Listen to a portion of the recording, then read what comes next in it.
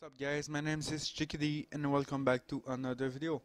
So I know guys that I did a video like 3 or 4 days ago that I'm gonna quit YouTube.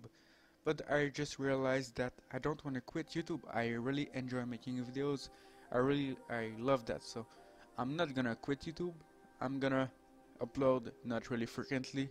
But you know, I'm not gonna quit YouTube. So I've, dele I've deleted my uh, quitting YouTube video so yes I really I realized that I really love that. So yeah it's pretty much that. Thanks guys for watching. Just got another box uh, because I've completed uh, 100 uh, percent. I don't know how to say it in English but uh, yeah so now the other one I think at the end I can get that. I don't even know what what this is but anyway let's see and oh damn that's good. I think that it's worth a lot. Damn 2.5 mil that's really good. So I was I was pretty poor I was almost clean so I think I can level up. Yeah of course 50 slayer baby really nice. Plus that really nice. Guys so my friend Natil, yep. Grats, man. 120 in fletching. So really nice. That's a great achievement. We're gonna see the cape now. So grats, man. There's the cape. Really nice. Really nice. Grats, man. That even look better than my 99 fishing. So yeah. So 50 in Herblore really nice.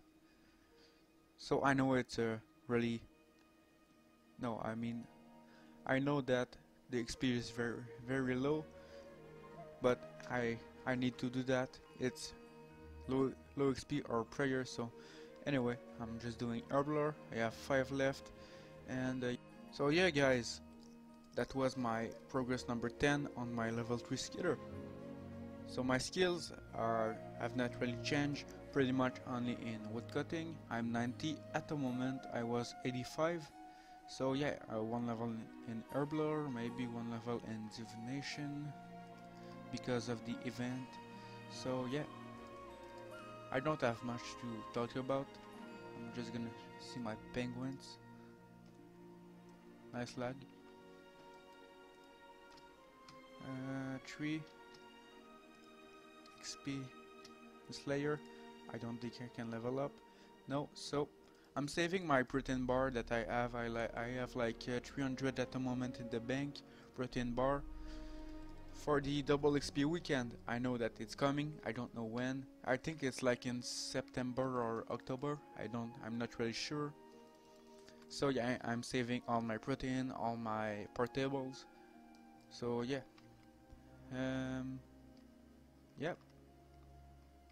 Thanks guys for watching and goodbye.